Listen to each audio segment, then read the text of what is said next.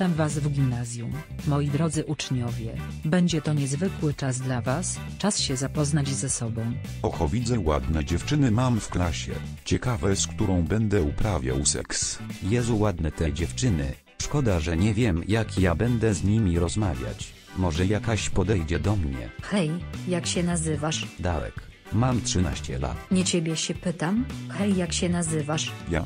Oskarek, ile masz lat? Bo ja 13. Ja też 13? Jezu ten debil serio myślał, że będę rozmawiać z rudym przegrywem bez loczków. Jezu no racja. Chcesz się poznać? Chętnie, opowiem ci o sobie. No to chyba by było wszystko o mnie. Jezu ale to było miłe spotkanie.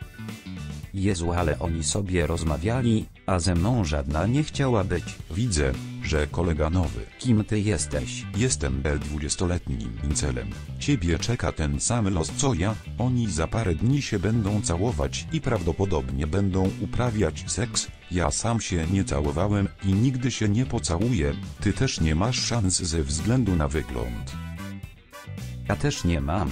Próbowałem właśnie jej koleżankę z klasy poderwać. No ty masz 25 lat więc nie dziwne że się nie udało. Spierdalaj. Jeszcze będziemy razem. Och kolejny, myśli że uda mu się trzynastka a wyląduje na komendzie. To co? Poczekajmy parę dni. Dobra mam 20 lat mam nadzieję, że nic nie dostanę za szpiegowanie 13. Hej Karolina, po co mnie tu przyprowadziłaś? Wiesz co? Chciałam ci coś powiedzieć. Pokazać ci coś? Okej, pokaż. Zamknij oczy. Dobra.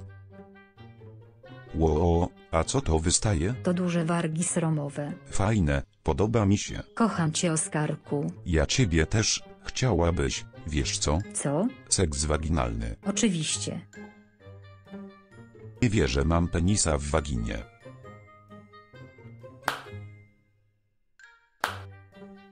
Jezu ale to przyjemne.